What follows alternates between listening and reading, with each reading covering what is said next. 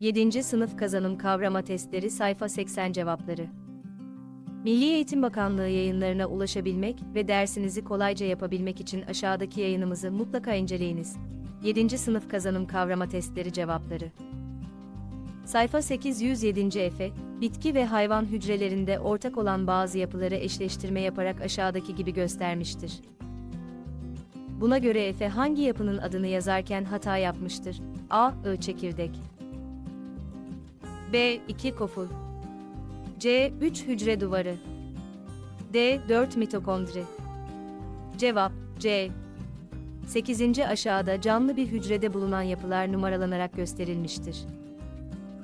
Buna göre bu yapılarla ilgili verilen ifadelerden hangisi yanlıştır? A, I, aynı türden olan canlıların hepsinde eşit sayıda bulunur. B2, hücrenin yönetici molekülüdür. C3, canlıların kalıtsal özelliklerini kontrol eder. D2'nin sayısı, canlının gelişmişlik düzeyini belirler. Cevap, D.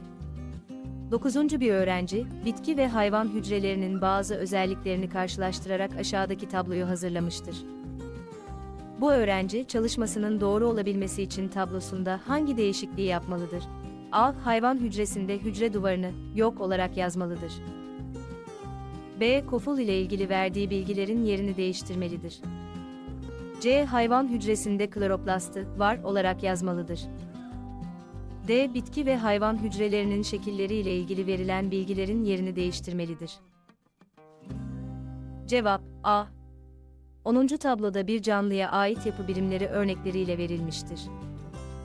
Bu örnekler, en temel birimden karmaşaya doğru sıralanırsa aşağıdakilerden hangisi elde edilir? A, V, 3, 2, I, 4.